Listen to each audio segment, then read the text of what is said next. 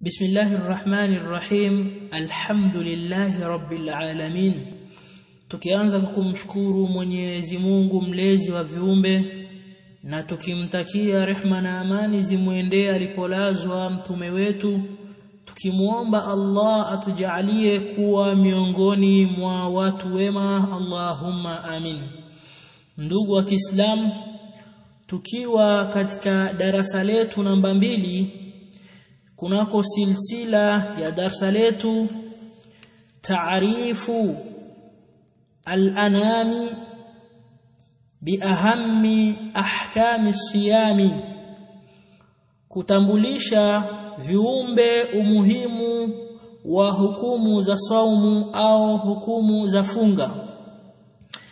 Hapo jana tulipata kuzungumzia kuweza kuifasiri au kuweza kuitambulisha swaumu kilugha na kisheria. Na leo katika darsa letu la pili kwa uwezo wake Mwenyezi Mungu tunapenda tuchukue hukmu saum. Hukmu za saumu kwa mujibu wa dini hii ya Uislamu. Saumu ina mujibu gani au ina hukumu gani katika Uislamu? Na hapo tutaanzia pale ambapo wamepata kutueleza watu wa elimu ya kwamba siamu shahr ramadan rukunu min arkani alislami ya kwamba saumu ya mwezi mtukufu wa ramadhani ni nguzo miongoni mwa nguzo za Uislamu. Kadhalika وواجب فرض على كل مسلم كذلك ni wajibu ni lazima kwa kila muislamu kuweza kuitekeleza kwa kila muislamu kuweza kuitenda binassi alqur'ani wa sunna wa ijma'i al-umma kwa dalili ya kitabu yani Qur'ani kadhalika na kwa maneno yake mtume sallallahu alayhi wasallam na mkubaliano au makubaliano ya wana wazuoni wa mwanzo wake mpaka wa mwisho wake wakikubaliana kwamba jambo hili la saumu ni lazima kwa kila muislamu kuweza kulitenda kwa dalili za Qur'ani na hadithi na wao wanazuoni wakalikazia Asa leo tunatizama hiyo hukumu ambayo tumeshaiona kwamba saumu au kufunga mwezi mtukufu wa Ramadhani ni lazima kwa Muislamu kwa dalili ya Qur'ani na Sunna. Tukianzia kunako dalili ya Qur'ani ni pale ambapo Mwenyezi Mungu Subhanahu wa Ta'ala aliposema baada a'udhu billahi minash shaitani rajim بسم الله الرحمن الرحيم. يا أيها الذين آمنوا كتب عليكم الصيام كما كتب على الذين من قبلكم لعلكم تتقون. من يزمون وأنا سيما أني أنباهم ليؤمني مفرض الشيوى موزم تقفه ورمضان مفرض الشيوى kufunga mwezi huyu wa kama vile walivyofaradhishiwa nyumati zilizokuwa kabla yenu na malengo ya kufunga mwezi mtukufu huyo ni ili muwe wacha Mungu ni ili mpate kufikia kunako daraja ya uchamungu kutoka katika daraja ya Uislamu na kwenda kunako daraja ya uchamungu hivyo Allah subhanahu wa ta'ala ndipo alivyoishusha aya hiyo. Na ulama wanatueleza ya kwamba mwezi huyu wa Ramadhani ulipata kufaradhishwa kunako mwaka wa pili wa Hijiria ambapo Mtume sallallahu alayhi wasallam alikuwa iko katika mji wa Madina. Na inasemekana ya kwamba wadhalika na hapo inasemekana kwamba ni miongoni mwa masiku machache ambapo qibla kilikuwa kimegeuzwa kutoka katika mji wa Jerusalem na kuelekea katika mji wa Makka ni mwaka huyo huyo ambao Ramadhani imepata kufaradhishwa. Kisha Mwenyezi Mungu Subhanahu wa Ta'ala akaendelea kusema ayyaman ma'dudati ni siku chache zenye kuhesabilika.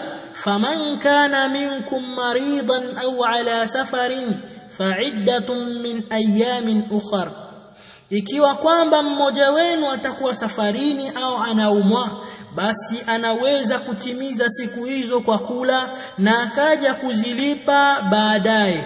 Wa ala alladhina yuti'iqunahu fidyatun ta'amu miskin. Na kwa wale ambao watakuwa hawawezi basi wafanye nini? Walishize kwa kutoa fidia walishize masikini kisha Allah akaendelea kusema faman tatawwa khaira fahuwa khairun lah.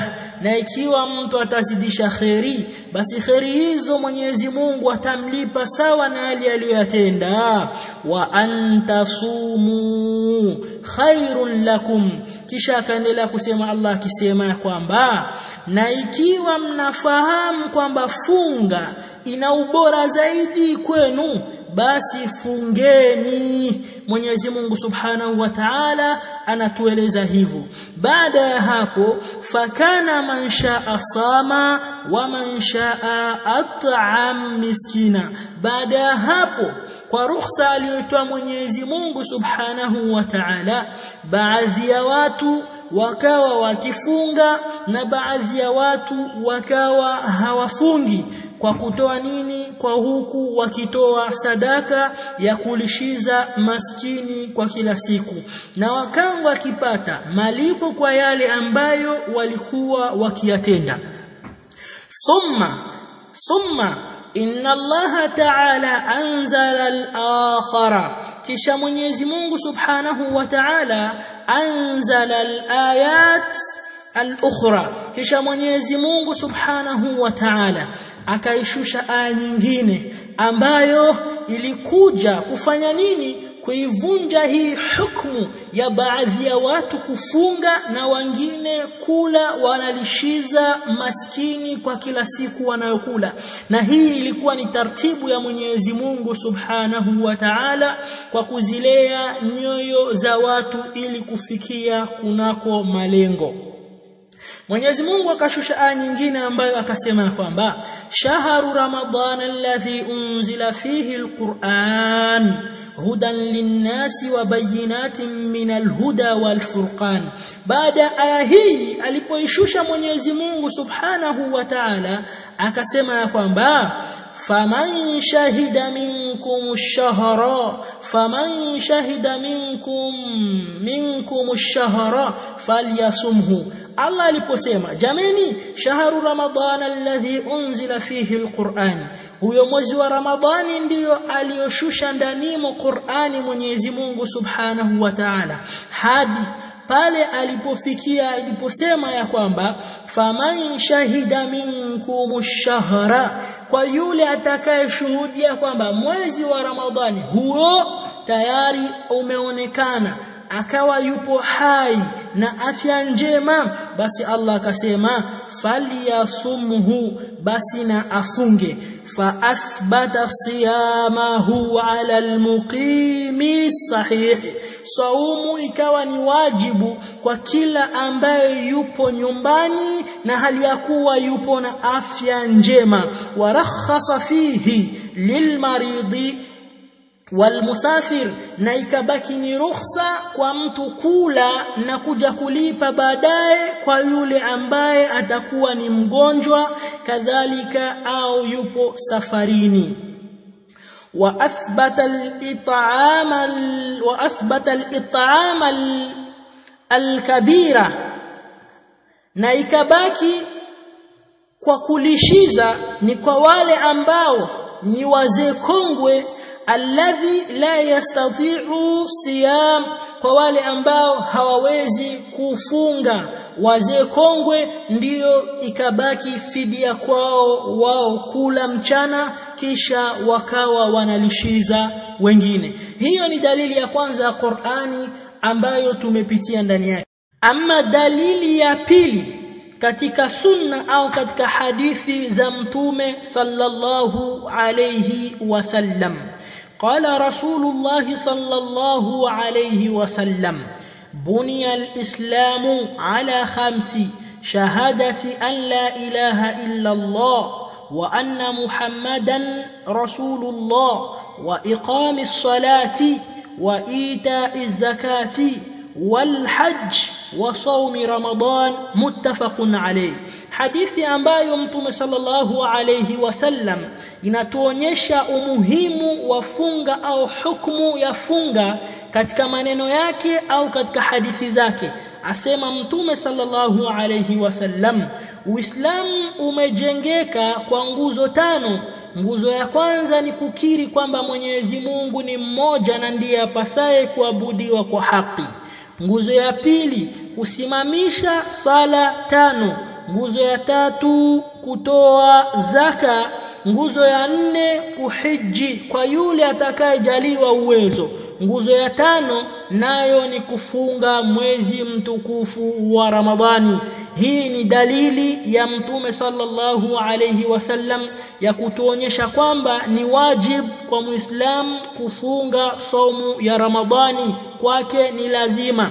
Ama dalili ya wana wazuoni kuanza kwa mwanzo kuanza kwa mwanazuoni wa mwanzo hadi wa mwisho wasema ya kwamba waqad ajma'atil ummata ala wujubi siyami ramadana ala almuslimina.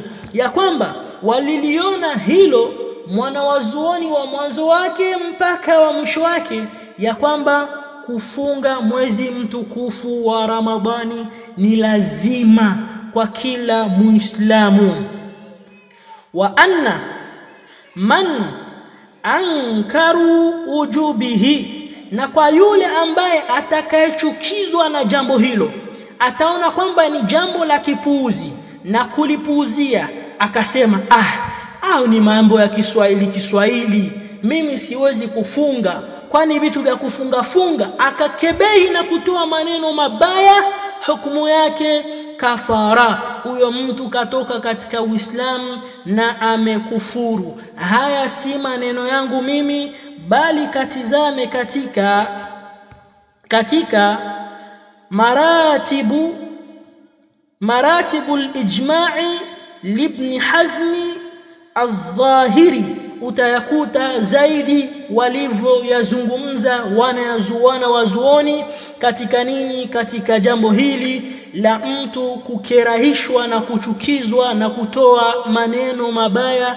dhidi ya neno au jambo la saumu kwamba ni wajibu kwa kila muislamu kufunga. Ndugu wa Kiislamu tusimamie hapa kunako darsa letu hili la leo kisha tutaendelea kwa uwezo wake Mwenyezi Mungu Subhanahu wa Ta'ala. Tunakuombeni mtuombee kwa Mwenyezi Mungu afya na kuweza kulishughulikia jambo hili insha Allah hadi tufike pale anapopataka Mwenyezi Mungu Subhanahu wa Ta'ala.